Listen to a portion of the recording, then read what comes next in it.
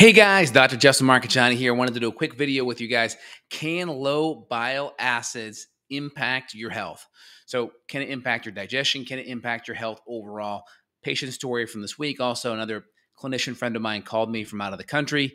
He has a big issue, a lot of pain up in the gallbladder area, having lots of bloating, lots of brain fog, lots of fatigue, and he ran a stool test. One of the things that came back was Giardia. So, Giardia is a parasite infection. Sometimes that can create stress and be a big gallbladder stressor. Now, I had another patient this week I'm excited to, to tell you guys about. Had a lot of chronic health issues, a lot of brain fog, a lot of fatigue, a lot of poor digestion. And one of the big things that we saw move the needle was improving bile acid digestion. And when you do that, we have to do it multiple ways.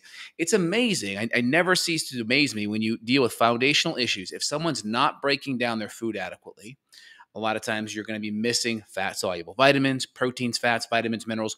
You're also going to be potentially having malnutrition.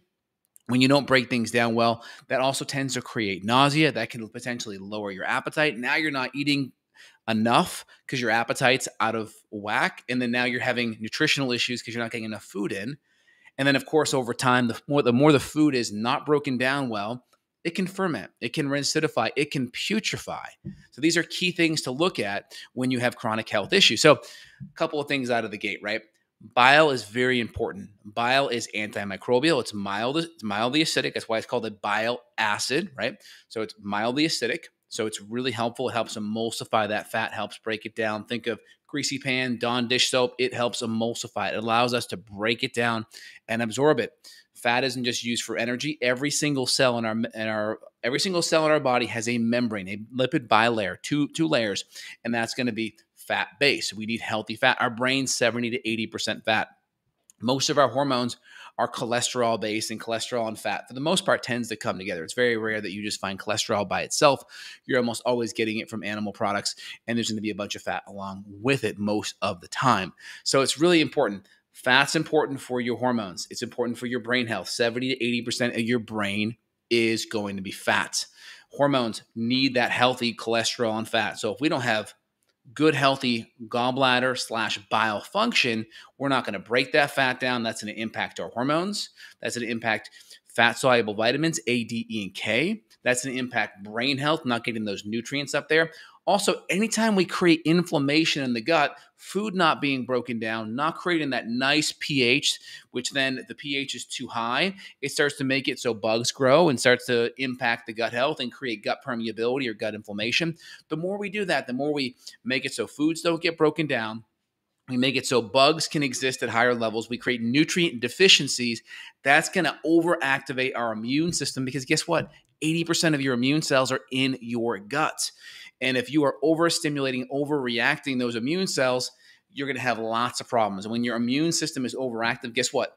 When you have inflammation in the gut, it's going to create inflammation in the brain. That's why when you have gut issues, it's so easy to create brain issues, brain fog, energy issues, mood issues. That's why if you look at, for instance, H. pylori, right, one of the major side effects of H. pylori, according to many scientific articles, is actually mood issues because the gut brain connection is strong, right? You can go look at Dr. Perlmutter's book, Brain Maker, or Dr. Amen has a couple books on this topic as well. There's a strong gut brain connection, and the bacteria in your gut has a major effect on inflammation. So we want beneficial bacteria. We need beneficial bacteria, but that happens through good dietary choices, but it also happens through having good, healthy um, digestion. If we don't break our foods down well, that food's going to rancidify, it's going to putrefy. Now, we could potentially have stones, right? We could have high levels of estrogens causing bile flow to be more stagnant or kind of dudgy, if you will, and that can create stones. So if you're a female, you're on birth control pills, you have high levels of estrogen or insulin, guys could be too, but you see it more with women,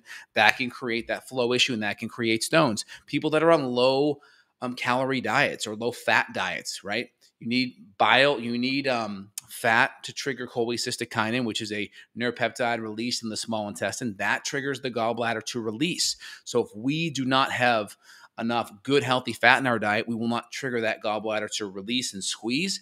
And if we don't squeeze it, those gall those gall essentially that bile salt can crystallize and form stones. It's very possible. So we have to wring out that gallbladder so we can actually release that bile, which is now concentrated. That will help now emulsify the fat.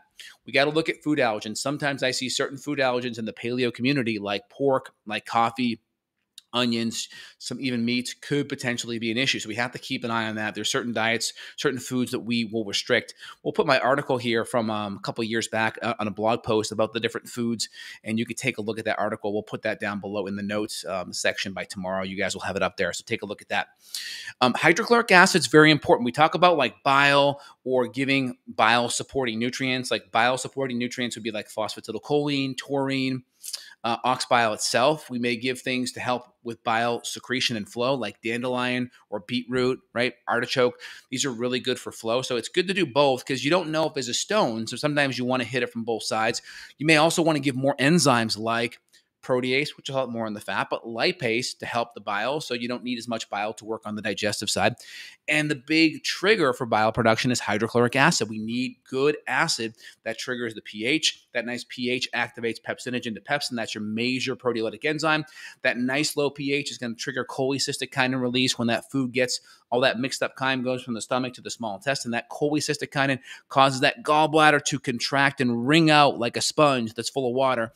And then you get this bile that's 15 to 20 times more concentrated than if it was just dripping from your common hepatic duct. So, really important. Um, it's easy to get overwhelmed or to think, oh my gosh, I have this crazy issue and I have to do this crazy protocol.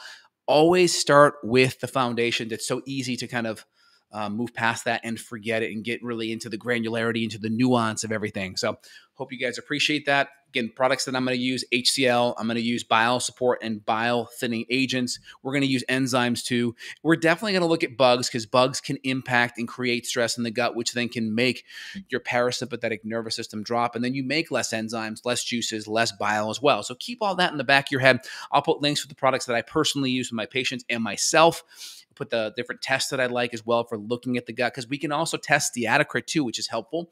But sometimes that's not enough. You have to look at the patient clinically and try things and see how they feel as well. So keep an eye on that, guys. If you want to dive in deeper, um, there'll be links down below where you can reach out to myself, my staff. Our coordinates are below, and you can reach out if you want to dial in on the functional medicine side and really get to the root cause. All right, guys, have a phenomenal day. Great chatting with you. Have a good one. Bye, y'all.